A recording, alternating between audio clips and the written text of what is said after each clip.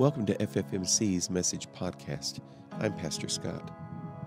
Today's message was presented the first Sunday of the season of Lent. Lent is a season of the year beginning six weeks before Easter.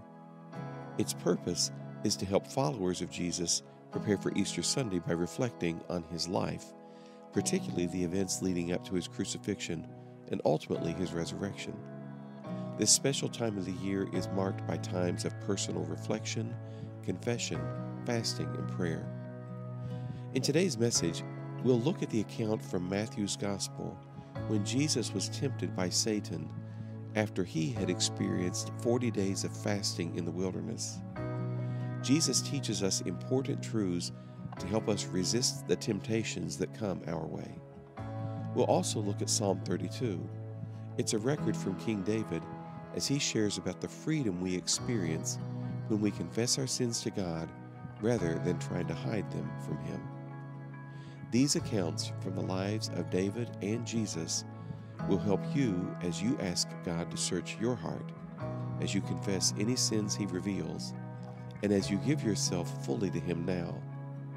They'll help you as you prepare to offer Jesus your life and your worship today and in the days to come.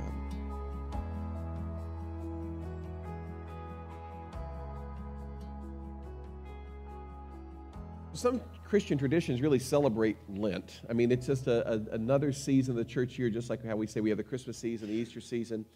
And this is a season that's kind of leading into Easter. It's about six weeks, starts six weeks before.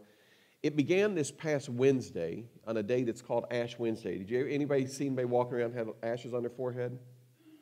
So some traditions have a, uh, a, a special service on that particular Wednesday that, that begins this season called Ash Wednesday. What they do is from the previous, going in the previous Easter, here's the way many of them do it. Um, the Sunday before Easter, we call Palm Sunday, and we'll talk about all of what that means as we get close to, to Easter itself. But it uses palm branches. And so some traditions take palm branches from the previous Easter, they burn those, and they save the ashes from them. They save them all the way up until this season. And then this past Wednesday, they would mix olive oil with some of those ashes, and then they would put a little mark, usually a mark of a cross. So if you, I saw someone, my wife and I, Leanna, we were walking around Somerset Mall, and we saw one lady had a really big black, you know, cross mark on her forehead, and that's what it was for. But the season of Lent, uh, it's just a, it's a, it's a man-made season. I mean, it's but it, it it really the early church began to celebrate Lent really almost before they began to celebrate Christmas. It's just it's gone. It's a long time in our church history because so much was driving toward to say, how can we really prepare ourselves for Easter and for Resur- Resurrection Sunday, Easter Sunday? And so the, the season is kind of marked by a lot of self reflection. Um, it's a time, much like if we would say, like when we get ready for Christmas, we celebrate another season called Advent. And it's the time leading into Christmas to say, let's prepare ourselves let's to celebrate again the birth of our Savior.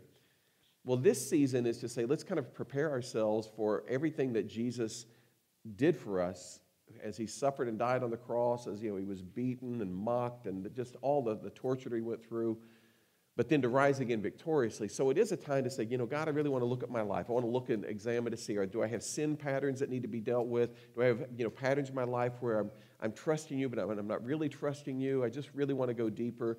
We try to carve out time to say, let's spend time to, you know, to read the Bible, uh, to, to reflect, to, you know, just to read sometimes verses a little bit more slowly, just to really ponder what do they mean and God speak deeply, deeply to my heart. So we're going to do some of that today. As we celebrate the Lord's Supper, leading into that, we're going to look at a, uh, a particular psalm from the, the Bible where there's confession that's going on and say, God, not just for today, but in this season, just help me to really uh, to draw strength from you and so on. So, in, in, anticipation of what we're going to be celebrating today, I'm going to invite, our, invite the worship team to come back. You remain seated just now. Um, we're going to, I'm going to have Kathy Tenney is going to read a, uh, a portion of scripture for us. Um, and then we're going to spend some time in prayer uh, before we even uh, come back and, and sing another song together before I share a little message with you. But in this, uh, in this moment, this is a time that would just say, okay, God, whether you want to lock onto the word of the season Lent, I mean, but just to say, you know, Lord, in this season, here it is, March 1st, We're about six weeks away from Easter Sunday. Um, I just want to spend some time being honest with you, Lord. I, I, want you to speak into my life. And are there, are there some things you'd say, this, these are some things for you to consider? Um, some of it is just, you know, I just want you to continue to trust me. As the, winter and moving into spring, there's some, you know, real analogies of just like when we've gone through a hard time. You know, winter is hard and cold and, and rough. And, and for many of us, even when I said at the beginning, how many of you are facing like need right now? And I know that many are just from lots of conversations that I've had with you and just to say, you know, I'm going to continue to trust my faithful God. And part of the, the way that God helps us to trust Him is we come all the way back to this as we, we think Easter. Jesus, everything that led to his death on the cross, if he's, if he's done this for us, will he continue to be faithful? In this season of Lent, some people will tie with it times of denying themselves. Some people, they'll, they'll fast. You know, what's the day before Ash Wednesday called? Fat Tuesday, right? So that's where they sell those paczkis. But the reason why, some people would say, you know what, in the Lent season, I'm going to give up food. So the day before, I'm going to gorge myself. That's why they, that's kind of ridiculous. But anyway. But some people will go through the season of Lent. They'll say, you know what, it's Lent. I'm going to give up something. I'll give up coffee for Lent. I'll, I'll give up watching a certain, you know, TV or something. Some people do that. But really, that's kind of tied, it has its roots in Christian tradition of fasting, denying yourself something so that you would more closely focus on God. I'm going to have Kathy read a, a portion from Isaiah 58 and listen what God says in some of the responses he wants from us, even through this season as it relates to preparing our heart, but even how what God says with, with fasting in this sense. But Kathy, if you'd read that portion. This is verses 5 through 9a. You humble yourselves by going through the motions of penance, bowing your heads like reeds bending in the wind. You dress in burlap and cover yourselves with ashes. Is this what you call fasting? Do you really think this will please the Lord? No, this is the kind of fasting I want. Free those who are wrongly imprisoned. Lighten the burden of those who work for you. Let the oppressed go free and remove the chains that bind people. Share your food with the hungry and give shelter to the homeless. Give clothes to those who need them and do not hide from relatives who need your help. Then your salvation will come like the dawn and your wounds will quickly heal. Your godliness will lead you forward and the glory of the Lord will protect you from behind. Then you will call, the Lord will answer, Yes, I am here. He will quickly reply. I put this up kind of as a, a, a, thought. This is where my mind has been a lot over these last few weeks. Lent, preparing our garden for growth. My mind has really been using, in, in lots of different ways, the image of a, a garden uh, for both my life and ministry life and the life of the church, of what God is working and preparing and how he wants to, to bring about harvest in, in those different areas. And so, even this season is sort of that, a way that God says this is like soil preparation time. This is a time as you draw close to uh, Easter celebration itself, when you know it's the greatest day of the Christian year of like the, the celebration of Jesus' death on the cross for us, his resurrection that proves that it's all true. I mean, it's, it's the thing that marks our faith. But this is the time of the year where God would say, let's, let's look deeply and uh, almost like in, in you picture your life like a garden. What are the things that just now, through this winter moving into spring, that need to be dealt with? Sometimes there's old stubble from the previous garden that's like, this has to be removed. Sometimes there are rocks that, that come to the surface uh, through like winter freezing and spring thaws and things. So we're, we're really saying, God, examine my life where I am today and speak to me about the things that need to be addressed. Uh, going over past the next slide here, I, I spoke about Lent briefly, but look at this next, I put this quote up here. If our hearts are like gardens, then Lent, like the thaw between winter and spring, is a time of preparation. It's a season when we're invited to prepare the soil of our lives for growth. And we're going to look at this in two things specifically today. I'm going to talk about resisting temptation and then eventually we're going to look at confession, and we'll do that before we celebrate the Lord's Supper. But one of the things that God wants us to give strength to, but to help us, is to resist temptation. And temptation can come in all kinds of different ways. And uh, we, we want to be mindful to, of that, especially as we say, God, examine our life. We're going to look at a, uh, a, a, an event in the life of Jesus found in Matthew 4. This is verses 1 through 11, and I'm going to read these in just a second. This is where Jesus goes out after his baptism into the wilderness, and Satan himself comes and tempts Jesus. And so we're all going to face temptations. Jesus faced temptations, and we learn some things from this, but specifically, we're going to focus on one part, and I'll, I'll get to that. But let me read this for you. So this is beginning, uh, this is Matthew 4, beginning in verse 1. Then Jesus was led by the Spirit into the wilderness to be tempted there by the devil. For 40 days and 40 nights he fasted and became very hungry. During that time, the devil came and said to him, If you are the Son of God, tell these stones to become loaves of bread. But Jesus told him, No, the scriptures say, People do not live by bread alone, but by every word that comes from the mouth of God. Pause there for a moment. So Jesus has been, this has been a denying himself of food, I mean, for 40 days. So he is, is out uh, in the wilderness by himself, seeking the Lord. This is all going to be to launch as, as he begins now his public ministry. But you can imagine after 40 days of, of no food, I mean, we don't know if he just had water there, but however he survived, but he is hungry, he's famished. And so when Satan comes to him, he says, Look, I'm recognizing that you're God. I recognize you have this power, this ability. And so why don't you just speak and, and take this, what, what's before you, and, and make it what you need? It's just bread. And who's going to know? All you're going to be is out here in the desert. If you're hungry, just make this into bread. And that had to be a real temptation for Jesus if he just thought about, I, I could, I could speak and make this into bread. But his answer back was very clear when he said, No, no, no. The scriptures say people don't live by bread alone. Now, part of what he was speaking to and what he wants us to understand in this temptation is that we can come through and say, you know, Lord, this is the need that I have. Here's a way that I could meet this need. It seems like just a, a, the right thing to do given the circumstances. And Jesus says, now listen, it's not about just have, meeting your need, it's about obeying the word of the Lord. And that goes a little bit deeper here. So then, and it goes on, it says, Then the devil took him to the holy city of Jerusalem, to the highest point of the temple, and said, If you're the Son of God, jump off. For the scriptures say, He will order His angels to protect you. They'll hold you up with their hands so you won't even hurt your foot on a stone, which is a true. He's quoting scripture. Satan is quoting scripture. But Jesus answered back, he says, he responded, the scriptures also say, you must not test the Lord your God. Sometimes when we have a need, and here Jesus had this great need, he was really hungry, but now Satan says, well, come here.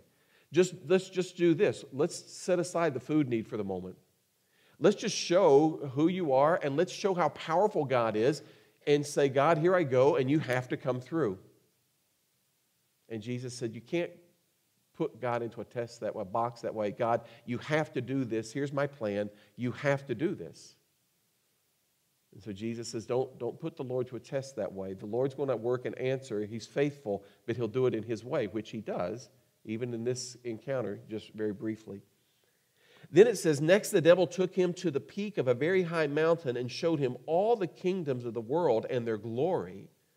I will give it all to you, he said, if you will kneel down and worship me. What has obeying God gotten you except being hungry in the desert? Jesus, honor me. Seek my way, my route. I'll give you all these things. And then Jesus answers back, Get out of here, Satan. Jesus told him, For the scriptures say, you must worship the Lord God and serve him only. And then it says, Then the devil went away, and angels came and took care of Jesus.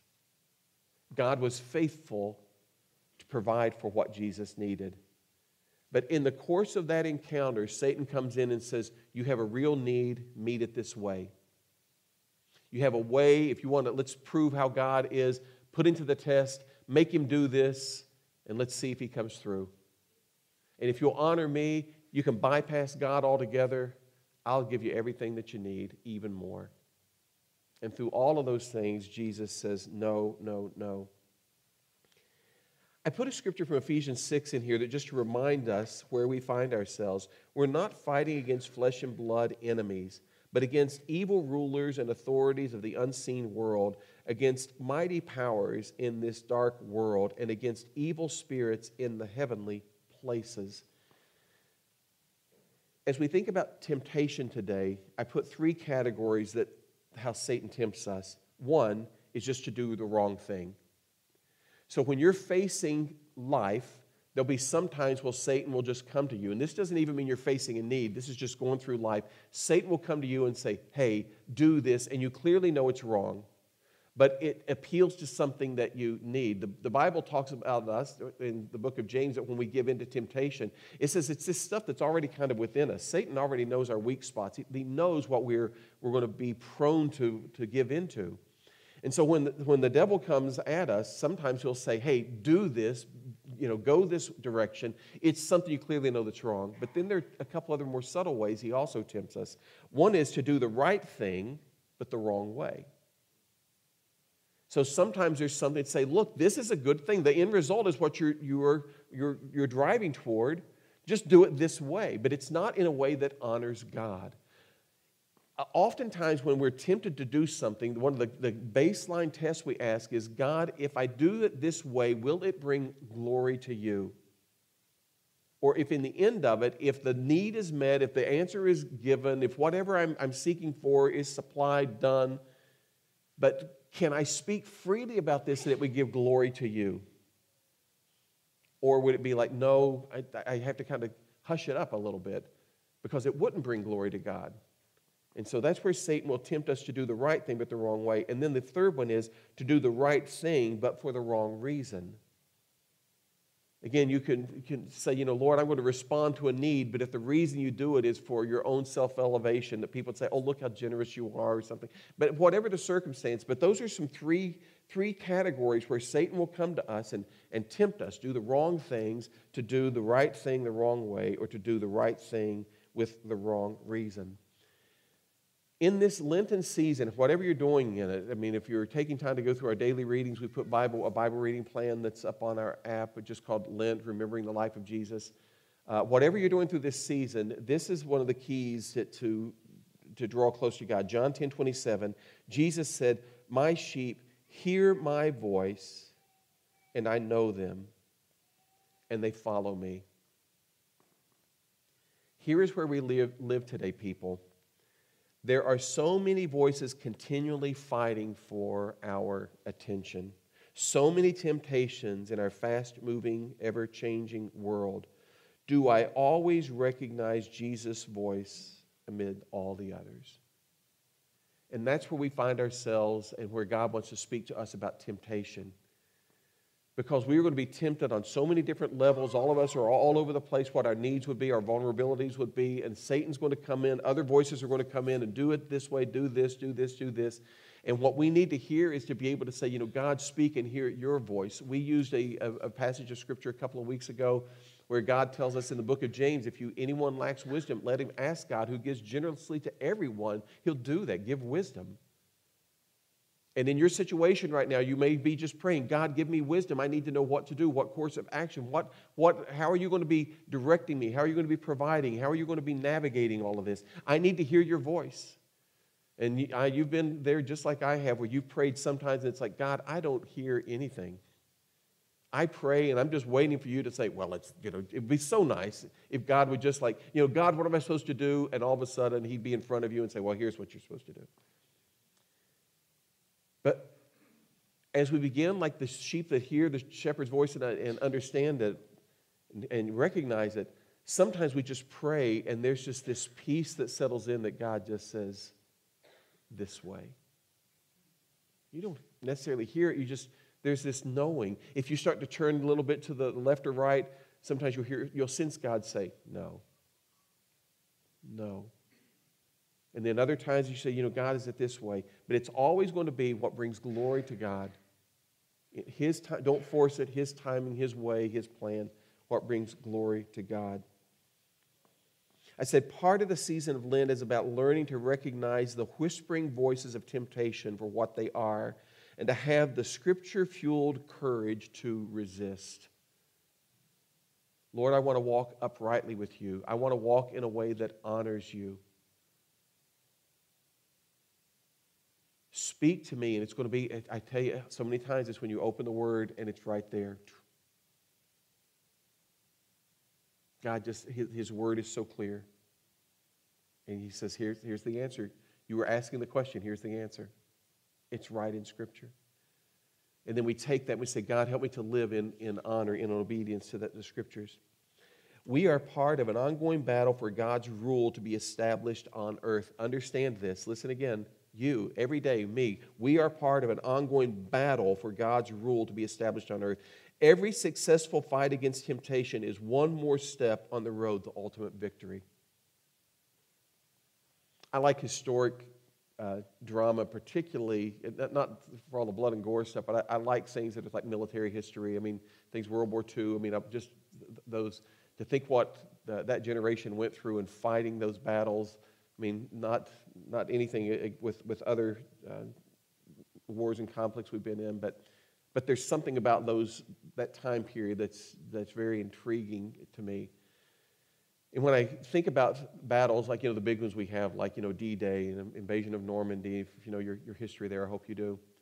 And I think about those soldiers as they landed on a beach with enemies just firing, you know, massive, you know, machine guns and artillery and everything, and them saying, advance, advance, advance. If you stay on the beach, you'll die. Advance, advance, advance.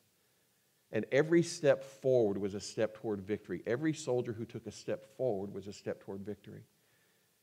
And in this Lenten season, God says, when it comes to temptation, when you resist, when you submit to the Lord and you resist the devil, it's a step forward toward victory. And part of what God wants us to, to be mindful of is, Lord, where am I being tempted in these days? So, what are the things you find hardest to resist? There are sin patterns you can fall into, but there are other things you just say, I'm prone here. As even as we prepare for communion, Lord, where are the areas where I'm prone to be tempted and to, to give into it? Lord, I need your help there. How might you overcome these temptations during this time, no matter how big or small? Lord, how can I? There may be some steps you practically He wants you to take. There may be some things you just say, I've got to immerse myself in Scripture. I have to have someone that can be an accountability partner. What are the steps that I can take? Lord, I don't want to just give in to those temptations. As a prayer, put this Lord Jesus, just as you saw through Satan's temptations and refused them, give me wisdom to recognize the tempter's voice and strengthen me to resist. Give me wisdom, Lord. I want to hear your voice, but I want to recognize if that's the tempter. I want to know that's not your voice. And give me the strength to resist. So I wanted us to have a time just to confess our sins before we participate in the Lord's Supper. And we're going to look at some things from Psalm 32. This is another confession psalm of David. Pastor Laura was talking with the, the children today about the 23rd psalm that David wrote. David, a powerful man, the, the greatest king of Israel and the Lord used him even with all of his sin and failings. And part of it was his open honesty when it came to confession of sin. So this is from Psalm 32. Listen, listen what he says beginning at verse 1. Oh, what joy for those whose disobedience is forgiven, whose sin is put out of sight. Yes, what joy for those whose record the Lord has cleared of guilt, whose lives are lived in complete honesty. He continues on When I refused to confess my sin, my body wasted away, and I groaned all day long. Day and night, your hand of discipline was heavy on me. My strength evaporated like water in the summer heat. Finally, I confessed all my sins to you and stopped trying to hide my guilt. I said to myself, I will confess my rebellion to the Lord. And what does he say? And you forgave me. All my guilt is gone. Therefore, let all the godly pray to you while there's still time, that they may not drown in the flood waters of judgment. For you are my hiding place. You protect me from trouble. You surround me with songs of victory. So I wanted us to take time just now, before we receive the supper, to say, God, if there's anything I need to confess, confess. If you're a person that says, I'm walking around, sometimes we walk around, they're not always linked, but sometimes we walk around and say, Lord, I'm facing all of these, these things in my life. And God says, you know what? And there's a connectedness because over here, there's this sinful area of your life you're not dealing with. And before I can release the floodwaters of, of provision here, we need to deal with the dam that's over here of sin that's blocking things. And so that may be your, your case today. But regardless, let's take time just to confess our sins to the Lord. Father, you brought us here today just to be reminded from the beginning of this service strength will rise when I wait upon the Lord. You had us bring worship that says, I love you, Lord, and I lift my voice to worship you. Oh, my soul rejoice. Lord, throughout this service, you've been drawing us to say, Trust me for my faithfulness. Remember the times that I've provided. Remember the times that I've answered. So trust me now. And now you brought us to this point that, that says, in this season of Lent, this time of soul preparation, let's deal with sin through confession. Lord, if there's sin in my life that I'm not dealing with, if I've not dealt with, if I've not confessed, repented of, I bring that to you now. I confess and say, God, this is wrong. The way that I've done it is wrong. The things I've done are wrong. My motive was wrong. I've listened to the tempter's voice and I've failed.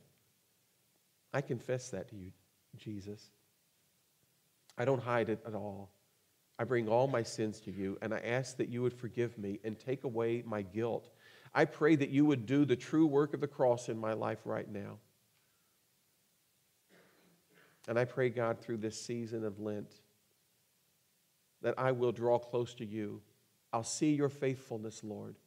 My faith will be strengthened, and I'll be able to stand and give testimony in the assembly of the goodness of God. Lord, as we prepare to take this supper, we're reminded of your death on the cross for us, the bread representing your body on the cross, the cup representing your blood spilled on the cross. As we take it into our own body, we're reminded, Lord, that you forgive us our sins. You give us life in your name. You give us the power of the Holy Spirit to live victoriously. Lord, we thank you as we remember, and we seek this in our own lives. We pray, Lord, that the promises you made to us of your faithfulness will be true. We pray also, Lord, the promises we made to you to love you and obey you will be honored. Lord, have your way through this time as we celebrate this special gift you've given to us. Work through this sacrament, we pray, Jesus. Amen.